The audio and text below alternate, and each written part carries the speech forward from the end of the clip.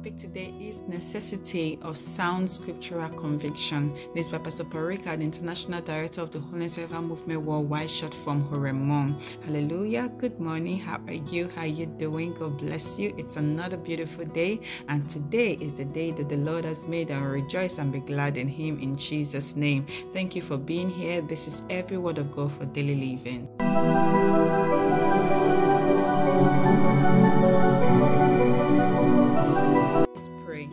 I thank you, Father, for this moment. I give you glory, honor, adoration. I worship you. I exalt you, Lord Jesus. Father, Lord, we're about to hear your word. Come and teach us your word, oh God, to enlighten us, oh God, the necessity of a Christian. Jesus, help us to know, oh God, our responsibility, what we ought to know, what we ought to do, or what you expect from us. Come and teach us how to please you, oh Lord. I open up my heart, oh God. Yes, Lord Jesus, speak to the heart of your people, oh God, to heal, to deliver, to bring understanding, oh God, back to the heart of the simple Lord Jesus, to know, oh God, and to be able, oh God, to perceive, to design, to know how to go in these evil times in the name of Jesus. Holy Spirit, speak to us, all the powers and forces of darkness against the children of God from living righteously and holily in the name of Jesus. I bind you and I declare the judgment of God upon you in the name of Jesus. Get out from our midst this moment. Oh Lord, speak forth your word. Let it come with power to heal, to deliver in the name of Jesus. Thank you, Father. Yes, Holy Spirit, I submit myself before you.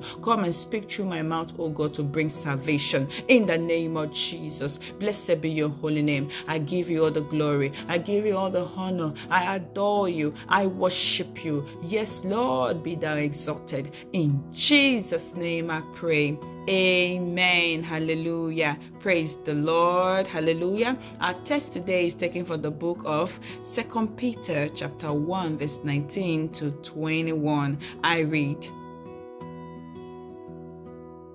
We have also a more sure word of prophecy. Hereunto ye do well that ye take heed, as unto a light that shineth in a dark place, until the day dawn and the day star arise in your hearts, knowing this first that no prophecy of the scripture is of any private interpretation. The prophecy came not in old time by the will of man, but holy men of God spake as they were moved by the Holy Ghost. Our key verse for the book of Luke, chapter 17, verse 32. Remember Lot's wife. I take our reading. I am Sister Eva Awelen Anab from La Peste Unit, Accra, Ghana. God led me to HOREMOW, which is Holiness Revival Movement Worldwide, through a series of dreams and events. While in secondary school, I loved the dressing of Deeper Life Sisters and I attended retreat programs occasionally, although I was a Methodist. I was just so happy the way Pastor Kumuyi preached and taught about sanctification and holiness. I learned a lot from them. How to live your life day to day holy. I followed their teachings because I loved their lifestyle. I didn't know why they do not wear earrings, but I joined them in in not wearing it. The teachings of Pastor Kumuyi helped me a lot to talk, to walk in purity, to walk in purity, in holiness, practiced to practice it and to live it from all my heart. Concerning endowment, I had no scriptural understanding. So when I later got married, I went back to wearing them. I didn't spare my hair as a youth. I left it naturally. I was natural. I used the silicone thread for plaiting, but I went back when I got married in the Church of Christ. I went back to wearing of earrings because I never heard that the earrings would take someone to hellfire. I never heard anything like that. The day I permed my natural hair, I dreamt that I was falling into a deep darkness. When I got up, I prayed, but I didn't understand it. In 2019, I had a testimony of of a Jehovah Witness, brother Kobena, on radio and later on YouTube. He was talking to heaven. He was taken to heaven and hell and brought back to testify. He warned about endowment. He said, I saw women tormented in hellfire for using jewelries in hellfire. I saw my mother who died as a member of the Church of Christ is in torment in torment for wearing earrings, rings, trousers. I didn't know I was practicing the right thing as a youth in Deeper Life Church. I saw that it was nice for wearing long skirts and keep natural hair also. I only joined them to do so. I never had understanding. If I knew that these things were requirements for heaven, I would have held on to it, but I went back to my earrings, lipstick, as an adult. Yes, these are what people are doing now. Adults. Oh, if I even children are waiting to grow up to become a, an adult. Oh, so that I can paint my nails and put different kind of cutters colors on my nails. I can put lipstick on. Yes, I can do hair. Yes, like mommy or like auntie or like that my teacher and walk like this and wear short skirts and wear heels. These are now the aspirations of children because these things are not taught in the church. These things are not even told why we should do it because you see, there in deeper life, they only just say but they don't go deep into it to say that this can take you to hellfire, that God actually hates it. They don't have revelation. If God don't give us revelation in HOREMOW, it's like we are not hearing from God anymore. God gave us the Bible. Hallelujah. Amen. Yes, but we also need even revelation out of the Bible. So people that said I don't I don't believe in revelation, they are telling us they don't believe revelation in the Bible because it was totally or purely man that came and tell us, oh, this is what they received from God. And yes, God endorsed it. That is why it's there in the Bible. So, sweetie, you need revelation to live. You need revelation. You see, she said God gave us several dreams to come to her. That is revelation. To several dreams. God gave her a lot of dreams. I believe that this that this testimony will be given to us more as we as we go ahead this uh, maybe this week or next week. God will help us in Jesus' name. So, my dear, I used to putting up all these things. I used to putting on fake lipstick. You're as dark as me, but you want to become fair. You want to be as fair as my palm. When you are when you're as dark as my face, you want to change your color list. Mine is already pink, and you want to have blue. You want to have black, whatsoever. You want to have pink or or or, or red. But God has given you those beautiful colors. You have a, a, a black eyeball or brown eyeball or green, and you want to change the color. Or your hair is uh, uh, you're trying to train it, but you don't even know how to take care of it because your mom did not teach you, because your mom's mom did not teach her. Your mom, mom taught your mom how to use relaxer and how to permit and how to straighten. That's what your mom taught you, and you haven't taken the, the time to learn how to take care of your God given natural hair, which is so sweet and beautiful and makes you you. You want to put different color and fake it and make a lie when God says, Whosoever that maketh a lie shall burn with the fire. So God has said that He when He created you, you are good, but you said that God, I'm not good enough. You are not good enough to make me. You do not know what you have done. And you you did not create me well. Oh, you would have made me a white lady that your hair is slippery and I just comb and then it's easy to go. I tell you, if God had made you a white lady, you would have said, Oh God, you would have made me a, a, a black lady so I can have the full and the buggy hair. God created you and you said, He said you are, all, all God created. He said that they are good. Why not appreciate God for who you are? Oh, okay, yeah, now you take natural hair. You don't even put makeup. Oh, yeah, but nothing will take the trouser off your legs. They are female trouser, they are male trouser. Why are they not male skirts and female skirt? Why don't a man come and wear my dress now? So that I will know that, oh, yeah, they are male dresses and they are female uh, uh, whatsoever. The Lord says that we should be decent in everything and we should be moderate. It is not decency for your buttocks to be showing your trousers as you are going. Even if you wear the long, the long uh, thing to cover it, why is it going to be between your parts? Tell me. Okay, go and stand and pee.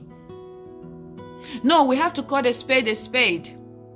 I'm sorry if I'm sounding like maybe harsh or something, but we have to call it what it is. Please take a thought to yourself. Go and seek the face of God. Go and pray concerning these things and say, God, Do you really mind? Do you really care? All these things. A revelation just came that Sister Linda had. I don't know if you've heard about her, Sister Linda Puerto Rico. Go on YouTube. It's revelation and the returning back of the backslider, something like that. A, re- a revelation just came newly. Go and listen to it. God called all these things a cost when and God had, she, God called this things accost in her dream, and it has also been called before in the time of Moses. He said, "Take this accostings from my presence. Take these things out of my presence until I know what I will do with you." God called accostings the gold you walk on in heaven that is like soil, mud to you because that's what we are working on. Gravel, stones, whatsoever you call it, that they put on the floor, ties on the floor. That is what you are putting in your ears. Let's say gold is the let's say it's one of the less material in heaven. That is why we what they work on it in heaven. So you're putting it, you're cherishing it. And we see there are other precious stones and precious quality things that we we don't even have the name for it because heaven is everything one can ever dream of and still surpasses it. Yes, you can dream of something when you know how to imagine about it, but if you don't even know, how can you imagine? How can you know? So please, it's a time to recover ourselves, go and take deep thoughts, go and pray, ask God. You see, the Lord revealed to this lady ask God to please reveal to you that you want to know these things. You want to know for yourself. And if you're a true child of God and you have a relationship with the Father, the Father God will speak to your spirit, He will speak to your heart. I have seen God done it. Many people they did not accept it. People, even friends of mine, they did not accept it, but gradually they are dropping it. You will see it. They are now doing this and doing that and stopping this and stopping that. The Lord will speak his heart, his mind to you. Only if you open up and you really, really love the Lord. If you love this thing, the love will blind your eyes. But if you really love God, the love of God will radiate in your heart and give you the power and the strength to drop all these things and follow Him. Follow the Lord. Take up your cross and follow Him. May the Lord give you grace. May the Lord uphold you. May the Lord strengthen you. May the Lord give you the power to Drop all these accostings and follow the Lord Jesus in the name of Jesus. Amen. Hallelujah. Amen. Our thought for the day says, Don't turn around to the things you have left behind. Some of you, when you started growing up as a, as a child in your parents' house, your dad, your mom did not allow you, just like me, they didn't allow me to put lipstick. Oh, it was not even uh, hair that we should put lipstick in our mouths. But gradually, gradually, start putting on a little makeup, light makeup, much makeup, long hair, small earring, long earring, hair, black hair, brown hair, gold hair. Start getting extreme. Oh, baggy trouser, now tight trouser, now penny, now tight trouser. Start just getting and transforming gradually, and now you, it's not like the norm in the house. It's what is now normal that anybody can do. It's no longer a sin. Now God understand. God doesn't understand. God is yesterday, today, and forever. Return back from where you have fallen. Return back to the place where God, where you have left God. Return back to that place. If God wanted you to put earring, you would have make a hole in the in the ear. There is a hole in the nursery. There's a hole in the ear. They both have purpose. It's to breathe for you to be able to pass your air. You don't pass through the air from the ear, you pass it through from your nose. You do not hear with your nose, you hear with your ear. That is the purpose of the hole. And every other holes in our body have a purpose. There's a purpose. If God wanted you as a woman to have an earring on, He would have put a hole in your ear. But this is the will of a man. My mom pierced my ear oh, I don't know how they did it. I've never asked the question. So, my dear, go and pray. Ask God for revelation and God will reveal his heart to you. Let's pray. Lord, we thank you, Father, for teaching us today like this. Oh God, we pray, oh God, that the hearts and the mind of people, oh God, will be will be open to your word, oh God, that worldliness will they they, they, they will drop worldliness, they will drop their lifestyle, they will drop this thing. This accosting is wasting their resources, wasting their time, drawing them far away from you, costing them their eternity in heaven. Father Lord, open their eyes that their eyes of their understanding may be enlightened, that they will know that these things you hate hate it, that these things you don't want it, reveal to them. Many people say, Lord, I want you to reveal to me. Me, I want to know by myself. Lord, give them revelation. Have mercy. I pray. I intercede for them, Lord. Give them revelation. Let them see for themselves. Oh God. Oh, have mercy, Lord Jesus, and cause their heart to believe and fear and repent and turn to serve you in true holiness. Father, I pray. Thank you, Lord, for today. I bless our day in the name of the Father, Son, and the Holy Spirit shall be well with us. I pray that every step we take today draws closer to you. Give us the grace to walk in the path of righteousness, oh God. Father, anytime the trumpet sound, help us, oh God, to go with you, Lord. I pray the Lord. For as many are not giving their life to God and you want to give your life this moment to the Lord, say, Lord Jesus, I come to you. I am a sinner. I repent of all my sins. I confess my sins. Begin to confess your sins before the Lord. Say, I confess my sins. I repent for my sins. Forgive me, O Lord. I will not go back anymore. Give me the grace, the strength, the ability to be your child. I receive Jesus as my Lord and Savior. Thank you, Lord, for accepting me in Jesus' name. Amen. Hallelujah. Thank you, Lord, for that soul, Lord Jesus, that has given his life to you. I pray for grace and strength and enablement to stand in holiness and righteousness and walk in the path of righteousness. Oh Lord, I pray that you will help them, oh God, that nothing will take them back again to sin in the name of Jesus. Thank you, Lord. In Jesus' name we pray.